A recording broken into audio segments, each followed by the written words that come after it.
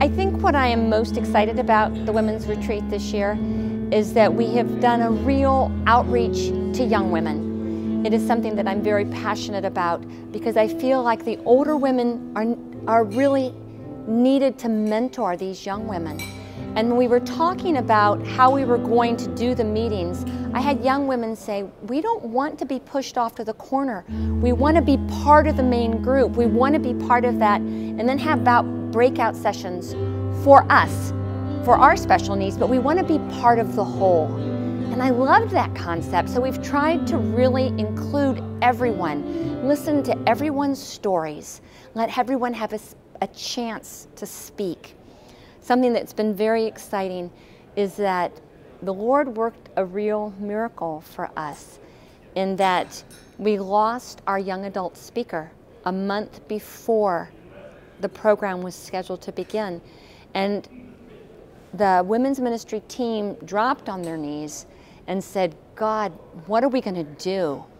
And it was amazing to see what he did do in that he provided not only a perfect retreat speaker for us, but Andrea Jacobson, who is the pastor, youth pastor at Spencerville. She was planning a young women's retreat at the exact weekend, and she did not have a venue. So we did not have a speaker, she did not have a venue. And the two came together as only God can do it.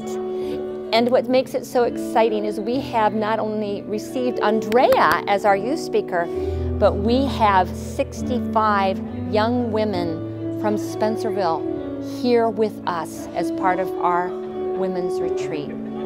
We've been praying from the very beginning that the goal would be that every woman who comes would leave this place feeling more prepared to fight her battles our theme has been The Woman is a Warrior because we're very aware how Satan has come and just sometimes overcome us with his temptations, with his the burdens.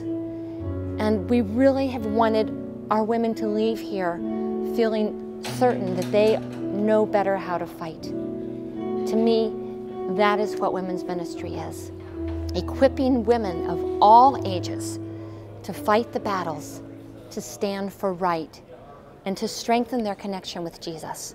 Because really, that's what it's all about.